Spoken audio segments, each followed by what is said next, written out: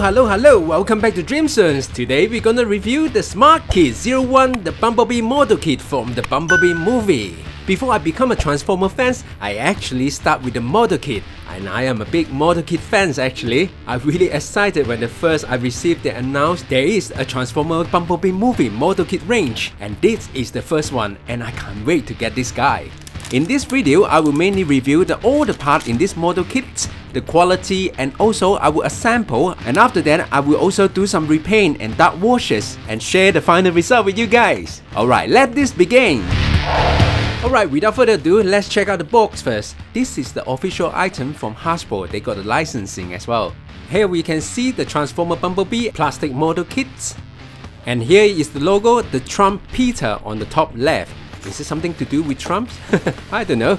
Alright, here's the transformer they printed on the side and in the middle there is a bumblebee from the Bumblebee movie. And on the side of the box uh, we can see they have 2, 4, 6, 8, 9 in total. Including the 8 of them is Cybertron mode. Model kits will be coming soon and I think they will be awesome when put them together in a model kit form. If you have noticed that this packaging design is a bit different they mainly use Chinese in the title and also descriptions. Maybe this design is targeting only Chinese market. For the other country outside China, they will have different packagings. If you guys saw it, please let me know in the comments below. Here on this side, we can see the Bumblebee finishings and the movability and also the detail. It looks amazing in the picture and hopefully inside after assemble everything they will look the same. The head sculpt look amazing, also they have a battle mask. The weapon included the arm cannons and the blade. Can't wait to open it.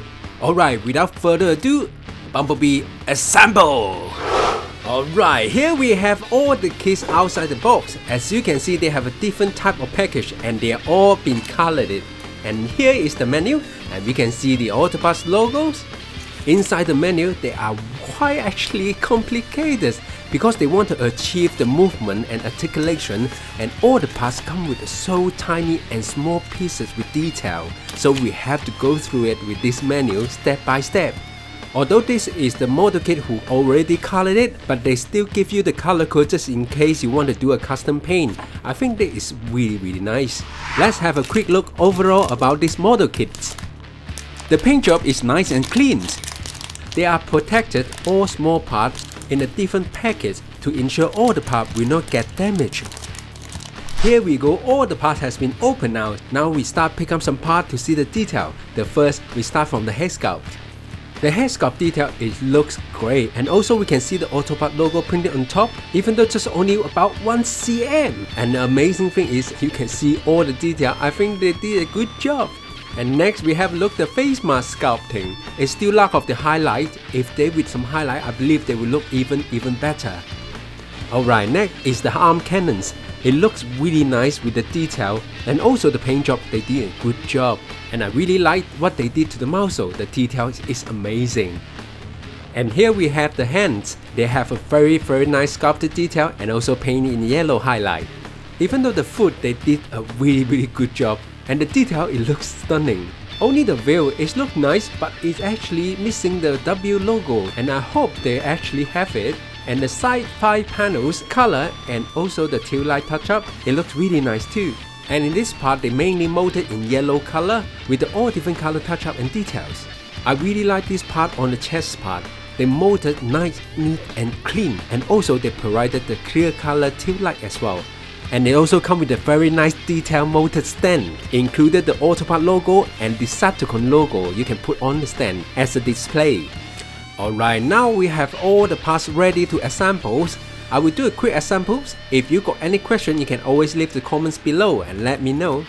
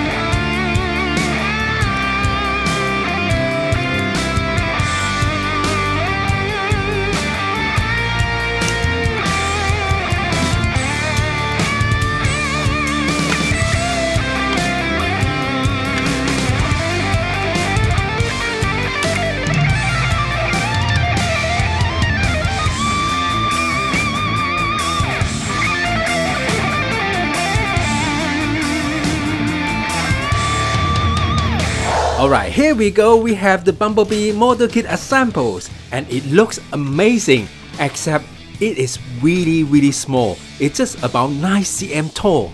It's actually quite challenging to assemble it as you can see because they all come with a really really tiny small part and the joint is tight. I cannot use my finger to assemble that in fact I need to use some plier as a tool to squeeze in some of the part of the joint.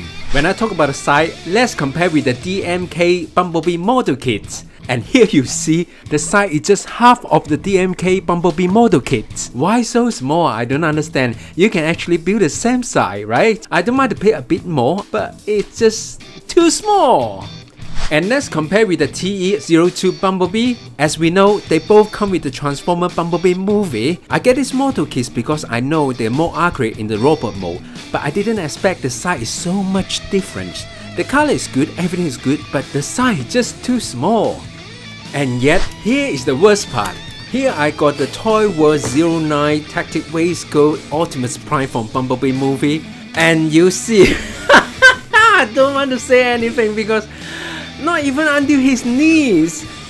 Alright, after all the bad comments, and let's check out the advantage of this figure, the articulations. And you can see the head based on ball joints, that you can rotate, turn it 360, there's no problem and arm you can lift up like so they have a double joint so which is you can angle a bit.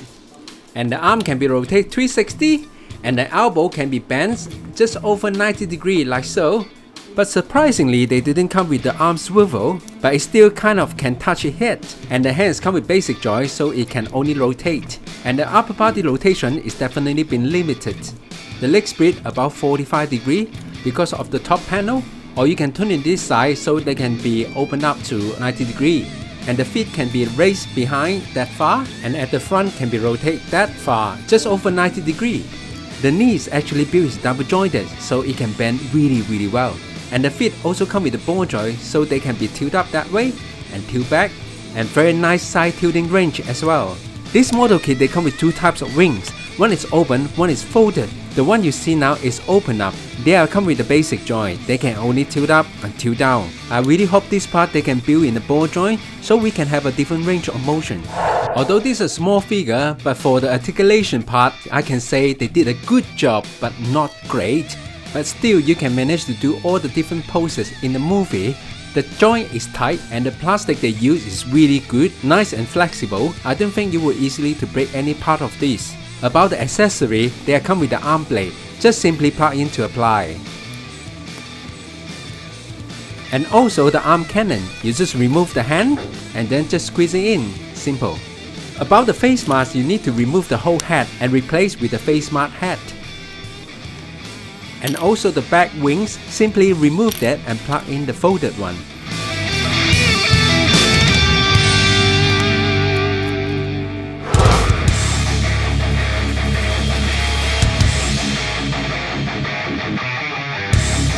Although this model kit had been fully colored, but still there's some perfection need to be done. What I do is I gonna simply apply a dark wash and also update some color highlight and I believe it will bring it to next level.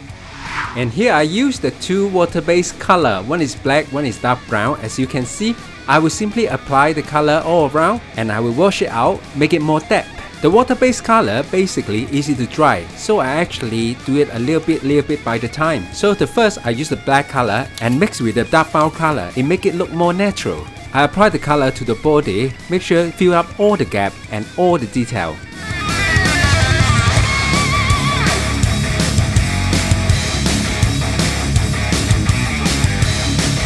After they dry out, I simply use the cotton bud, touch some water and clear out all the excess. After then, you will see the difference instantly. It looks great for me. And then I follow the same process with all over.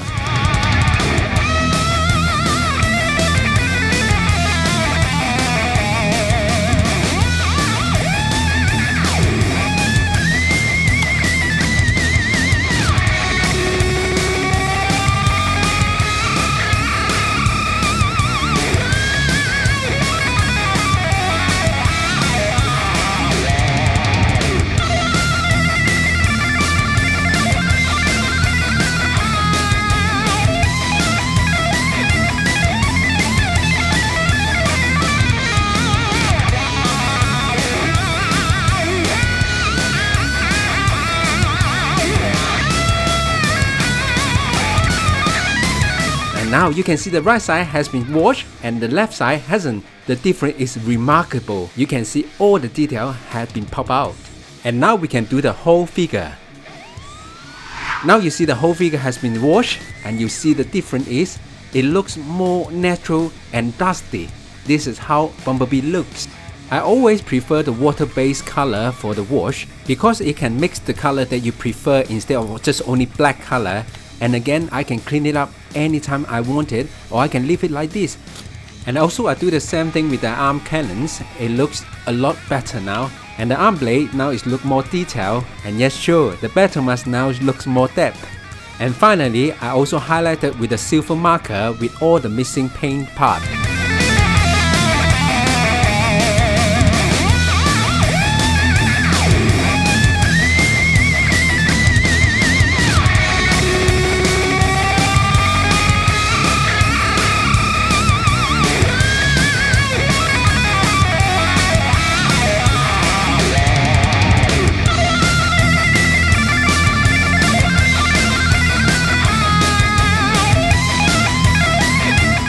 Below the bumper part, as you can see, this part inside is still silver, is supposed to be yellow color. So I use the water-based color again with the yellow color and red color mix.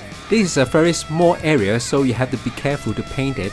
But you don't need to paint it all in once. Basically, I apply the first layer. Until it dry, I apply the second layer. It will done the job.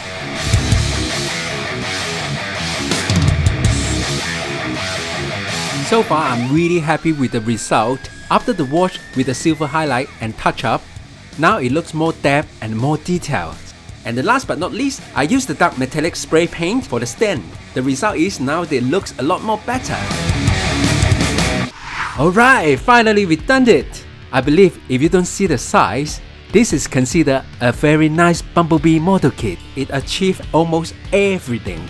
The looks, the pose and the capability of this figure can do also the materials of plastic they use on this figure is almost achieved the high marks for me is the must to get but the downside is the size is just too small. I was excited and get it soon as I can when this coming out, but I didn't do research about the size comparisons. And I hope you guys see this. Is there the figure you want to get? Is there the correction range that you want to match? And I can tell you when you get these model kits, and you need to get the whole sets of them, so only you can match the whole collection sets. Will I get the whole set? I will still say maybe and I hope this will be helpful for you if you want to get. If you are the one who looking the small size figure, maybe this is the best for you. Alright, here's the wrap and thanks again for staying until now. If you like this video and think this is useful, please share to your friend. And don't forget to give a thumbs up, subscribe and ring the bell so you won't miss the coming soon video. I'll see you soon!